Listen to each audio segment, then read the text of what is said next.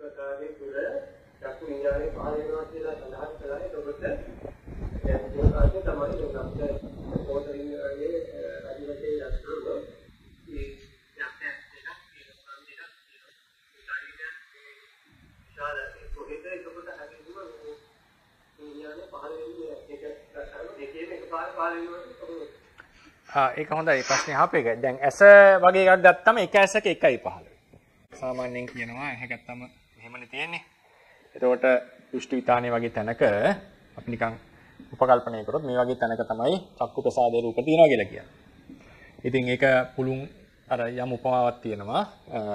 පුළුන් පිටක තෙල් තියෙනා වගේ මේකේ පැතිරිලා තියෙනවා. එතකොට ඇස් දෙකක් තියෙනවනේ අපිට.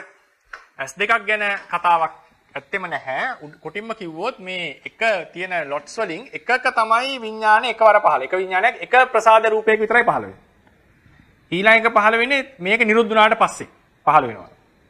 ඊට පස්සේ ඊළඟ හැක් පහළ වෙන්නේ මාරුවෙන් මාරුවට එක එක ප්‍රසාදවල චක්කු විඥානයෙන් පහළ වෙනවා. ඒ වගේ නැවත නැවත බොහෝ වාරයක් චක්කු විඥාන වීති පහළ වෙනවා. ඒක අපි චිත්ත වීති පාණ්ඩේදී අපි කියන්නට ඕන. ඒකට කියනවා දැන් චක්කු විඥාන වීතියක් පහළ වෙනවා.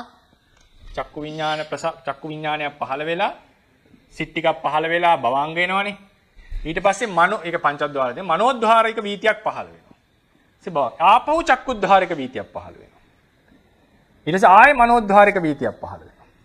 මෙහෙම මෙහෙම බොහෝ ගාණක් චක්කුද්වාරික මනෝද්වාරික චක්කුද්වාරික මනෝද්වාරික කියන වීති ගොඩාක් පහළ වෙනවා.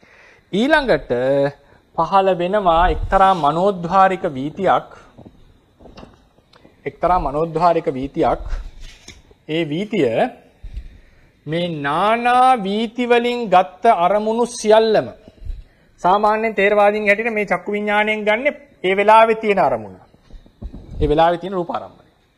මේ නානා සිත් වලින් වීති වලින් ගත්ත අරමුණු නැවත නැවත නැවත නැවත ඇස් දෙකෙන්ම පහළ වෙන චක්කු විඥාන වලින් මේ සියල්ල එකතු කරලා සමූහ ඒකට කියන සමූහ සමූහක් ගාහික වීතියක් කියලා. සමූහක් ගාහික වීතිය. ඒ සමූහක් ගාහික වීතියකින් ඒ අරමුණු සියල්ලම එක්රන් කරලා මේ අතීතයේ පහළ වෙච්ච අරමුණු කරපු අරමුණු සියල්ලම එක්තැන් කරලා එකට අරගන්නවා සමූහක් ගාහික වීතියකින්.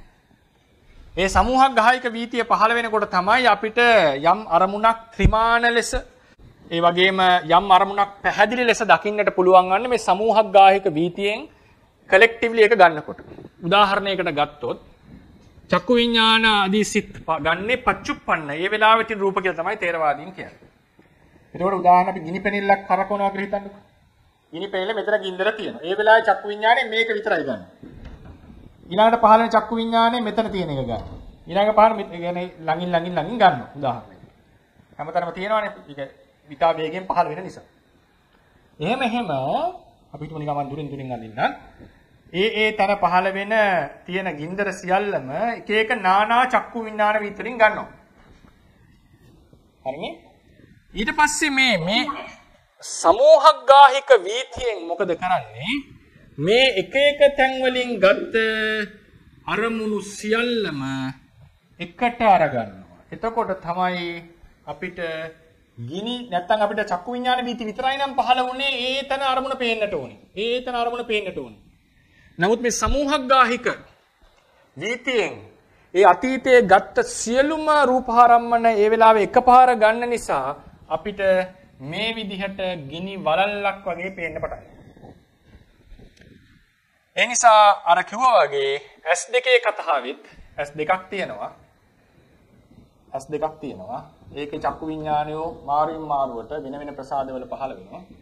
ඊට පස්සේ මනෝද්වාරයෙන් ඒ සියල්ල එකතු කරලා අරගන්නවා. එතකොට අපිට ත්‍රිමාන භව දුර ආදිය සාර්ථකව තේරුම් ගන්න පුළුවන් වෙනවා.